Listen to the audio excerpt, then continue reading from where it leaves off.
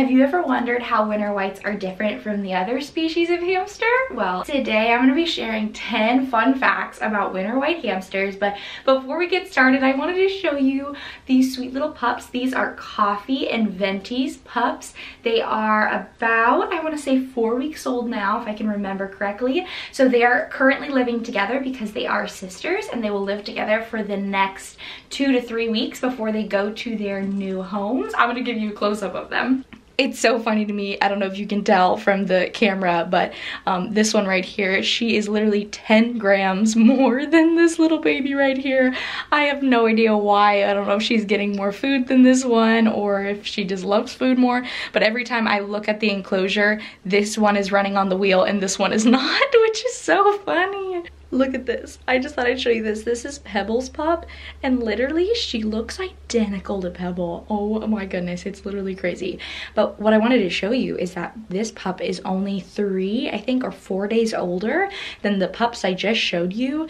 And she is also much, much larger than the other pups. So it's just so cool to see their growth and how quickly they change day by day. It's insane. They look so different the next day. Even if I check on them in the morning and compared to the evening, they grow so, so much. So it's so cool. Okay, bye to get into the video. So I thought I would start off with one of the coolest fun facts first. So fact number one, when it comes to winter white hamsters, a lot of people don't know that winter whites only come in two colors and two patterns. And so for example, here is Frappuccino, oh, in his cuteness.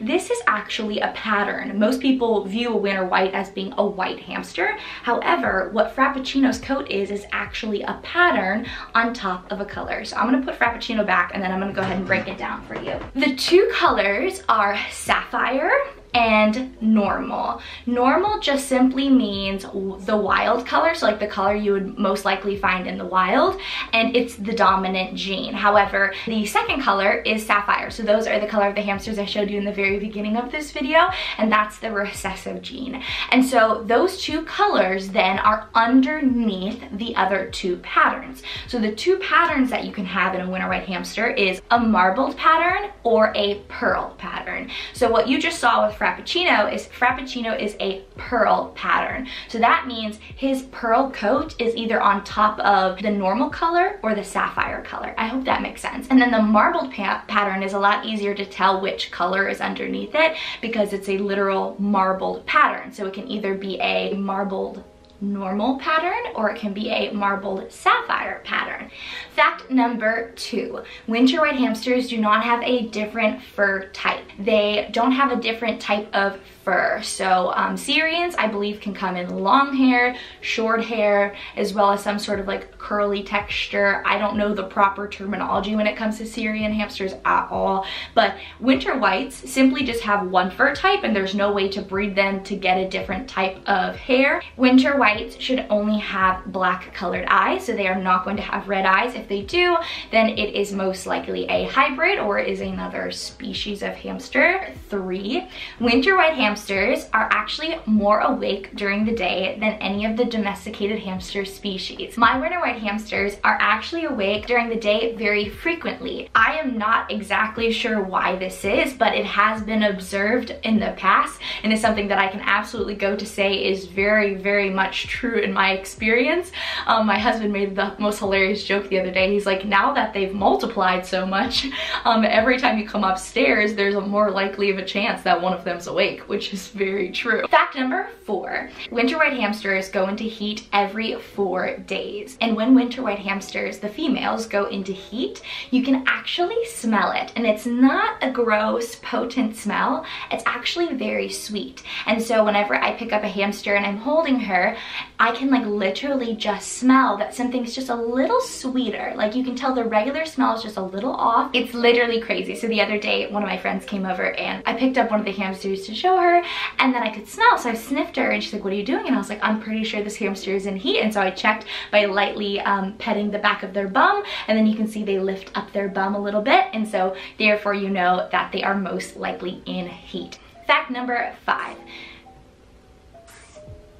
they just keep interrupting me today. Oh my goodness. My goodness. Oh my. I don't know if you guys can hear that in the camera, but anyways, fact number five female winter white hamsters can actually prefer a different male when they're in heat. I've run into this uh, multiple times on occasion where I can tell that a female is in heat, but then when I put her with a male, she starts to attack him. So I of course have to separate them immediately. I have like a Tupperware pretty much right next to me and then I'll, I'll put the Tupperware on top of one of the hamsters so they're not able to fight each other when I'm trying to introduce them to see if they'll mate for me that evening.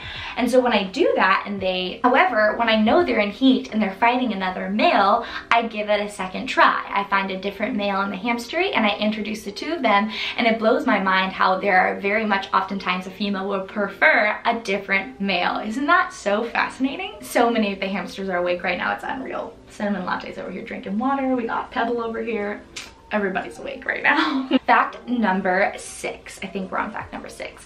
Fact number six is that winter white hamsters get their name for the fact that they turn white in the winter. I'm sure all of you have heard that before, but here's something you might not know.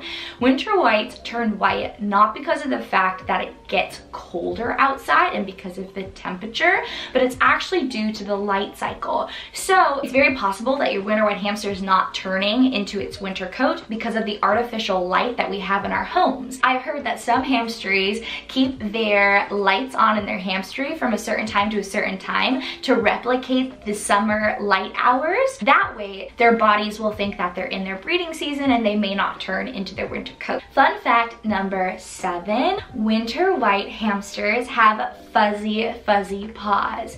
If you've ever owned a Syrian hamster or a Chinese dwarf hamster, you'll know that their feet look a little bit more like a mouse like there is not fur completely consuming the bottom part of their paw. However, winter white hamsters' paws are completely fuzzy all the way around. It is the literal cutest thing and I am obsessed with it. However, it's actually because in the wild, it would help them keep their paws and their feet warm if they were exposed to extreme temperatures. I forget what fact we're on. So I'm just gonna say next fact is winter white hamsters only have one scent gland. So Syrian hamsters have two on the sides of their hips that kind of look like patches or potentially a scab if you never knew it was there.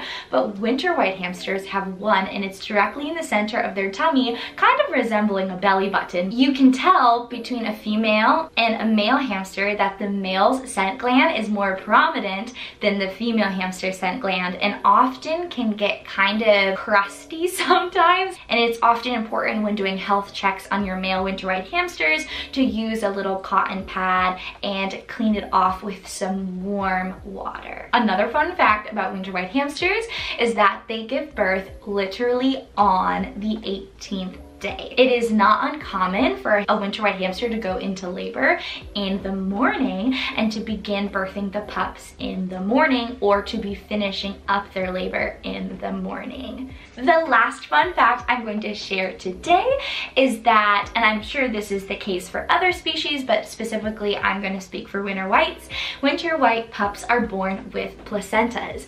And it was so fascinating, like two months ago, um, Coffee's pups were born with their placentas attached, which of course all animals and humans hamsters and humans are as well. However, um, the mom within the first 24 hours is supposed to handle the placenta by um, biting it and disconnecting it from where the scent gland is and then eating and consuming the placenta. However, um, Coffee had six pups and I found one of the pups under a different hide after she had given birth and she had either forgotten to collect that pup or potentially she had decided she was going to reject the pup. I'm not sure.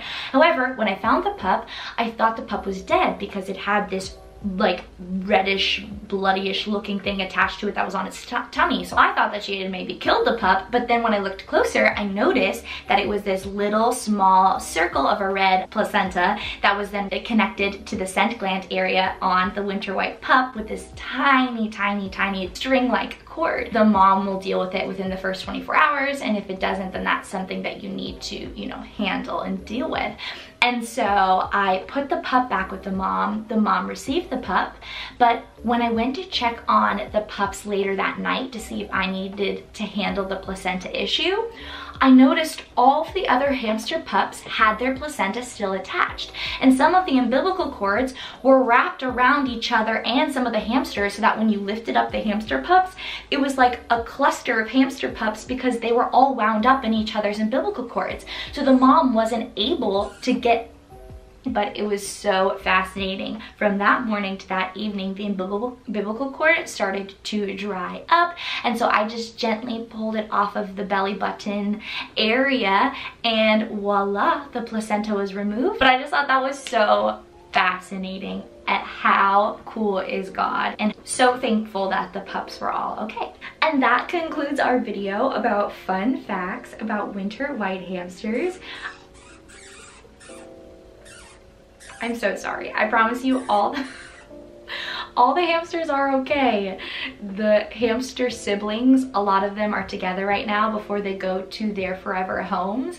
And so they like to do this to play. That's They make that squeaking noise and it sounds horrifying like they're in trouble, but they're okay. You know they're in trouble if hamsters grab onto each other like tummy to tummy and then they'll roll around like a ball. That is not okay. You have to separate them immediately. If you're interested in learning more about different things that we use around the hamstery, I have this video where I share my top 10 Amazon hamster finds and I think you'd really love it. I'll see you over there.